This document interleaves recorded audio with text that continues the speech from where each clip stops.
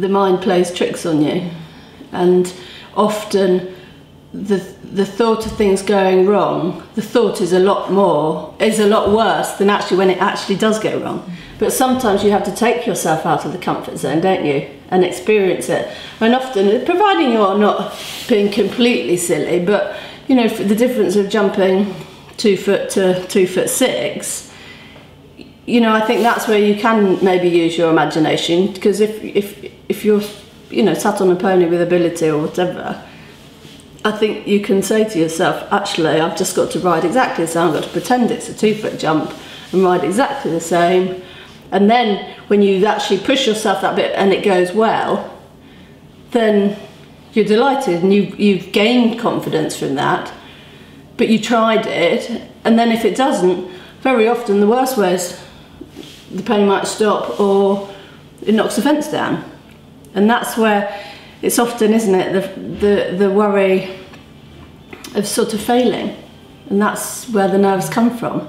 And I'm the same, you know, I do get nervous, but I try to think now the nerves are more positive and um, and I do if I if I find my my mind is working in the wrong way and blowing things up in my imagination, which is often the problem, um, then I really do work hard to completely distract myself, do something completely different.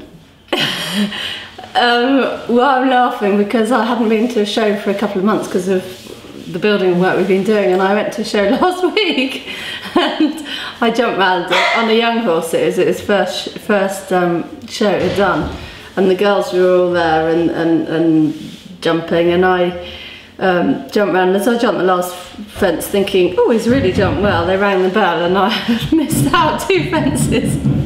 so that's why I'm laughing. So I think I need to know the advice on that one. Oh, okay. Follow the numbers from one to ten. I think a way to imp- improve your dressage without necessarily um, riding any differently is to just be very, very disciplined. As in, if it says trot at the marker, trot at the marker and to make yourself ride into corners and make yourself go on a straight line. So by riding in a more disciplined way, it makes you ride accurately, and to ride that way, it makes you ride better anyway, without someone saying use a bit more inside leg or this, that, or whatever. You know, so I think you could just and and just just sit up and be very accurate. I think the main thing I'd say is not to override, because very often, if um, if you're worried about a certain fence, the natural reaction is to override. So never try and use speed because you're a bit frightened because horses sense that if you suddenly start overriding too early you know it might need a good kick but it doesn't mean go faster sometimes we beat ourselves up and i think whether it, you're producing young horses or whether you're trying to get better yourself it goes in you know you often go two steps forward and one step back and you think oh think of it as a, a long process. It's not going to happen overnight. Night. And I think it's the main thing is it's important to sort of learn from your mistakes.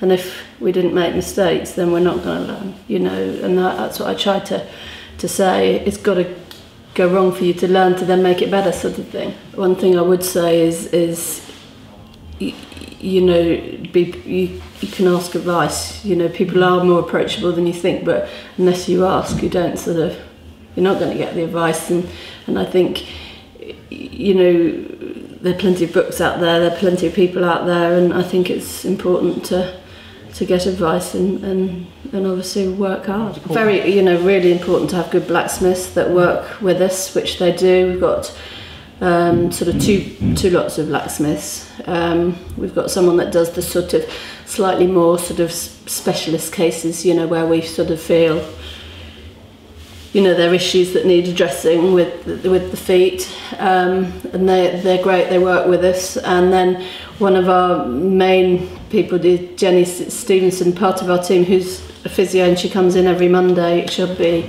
she's probably down at the other yard now, but every Monday she comes sort of midday and spends month, the half day Monday every week. Um, going through not all 80 horses at all, but going through if we feel, um, you know, she basically does all the top competition horses, but like at this time of year, for instance, because mine have only just come back in, they've all had their sort of pre-season look and check, and providing I'm happy um, with them, she probably won't look at them maybe for three, four weeks, but if she's not looking at them, we'll get her to look at something else. So a young one that maybe might be a little bit stiffer one way on one rein, so you know she'll see them walk up, trot up, put, we'll put them on the lunge on a hard and she'll feel their backs and she's very, very much part of it. And then she'll always check mine before an event and check them after and the same thing with Williams. Um, Jenny, who's in the office, because obviously the logistics to running an operation this size, so she's very, very much key to our whole operation, uh, doing all the the paying the bill. Obviously, we sign the checks, but you know, making sure that bills are paid and. Mm -hmm and all the paperwork's up to scratch. Sponsors are, are very key and I'm very lucky because um, Toggi have been with me for years. I've been with them since the sort of mid 90s. So they've supplied me with, with the kit and, and Devoucoux is another. They've, you know, we have saddles and tack off them. And then we have the sort of Funnell range of rugs and things. So that was sort of something William and I got involved with there and, and so we're very lucky. You know I've got SSG which are gloves so I'm really yeah very very lucky. And, mm. and one of our main backers which again is, is absolutely vitally important who, who we do work closely with is Allen and Page